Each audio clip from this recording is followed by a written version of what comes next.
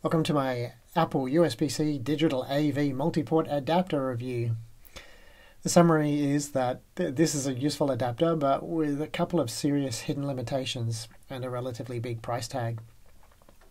So this is a 75 US dollar or what I paid was 99 Australian dollars adapter and it's the kind of adapter you'll buy if you own uh, a MacBook M1, MacBook Air or a MacBook Pro M1 uh, and you need the ability to plug in an external monitor using an HDMI port.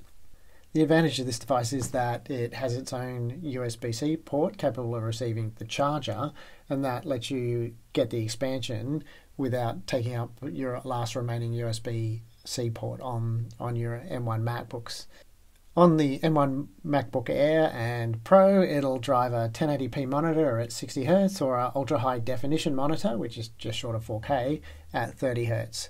And there's some other models of Macs that it will do ultra high definition at 60 Hz, but, and you can pause the video here if you want to read which ones they are. The USB uh, Type A port is the fast kind, so it's at least 5 gigabits. It might be 10 gigabits, but I don't think so. Anyway, it worked flawlessly uh, and fast with all of my USB A drives. There is a USB Type-C port on the adapter, but this is where the limitations come in. This isn't a fully functional port. It's for charging only. It doesn't deliver power to any device plugged into the port. I plugged in uh, an SSD and the drive doesn't power up or mount. I plugged uh, this pictured Ethernet and three USB-A port adapter in and again it doesn't work. There's no power delivered to it. This means that you can't use the extra USB-C port uh, as anything other than for powering the laptop, which is a bit disappointing.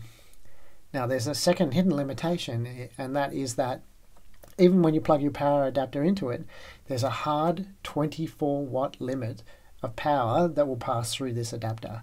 And it doesn't matter if you plug in a 30 or a 61 or a 96 watt charger through this device, the most the laptop will get is 24 watts.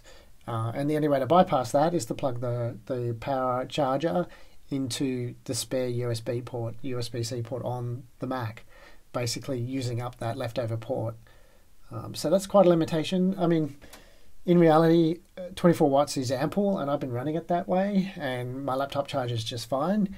But if you needed to fast charge your laptop and want to get the maximum amount of your power adapters, this isn't the way to do it. Overall, yes, it works, and when you buy it from Apple, you get the confidence that you can return it if it doesn't, um, and you you know it's going to work with Apple products. Um, but it is very expensive, uh, 75 US dollars. You can buy third-party adapters that have exactly this functionality off eBay or some other vendor, and you're paying about a quarter the price. So you can save somewhere around 60 US dollars just by buying not Apple. And if you're prepared to take the risk, I think you should do it, do that. Alright, thanks for watching. Uh, if you've got anything to comment or you think I've made a mistake in this video, please put something down below. I'll see you in the next video.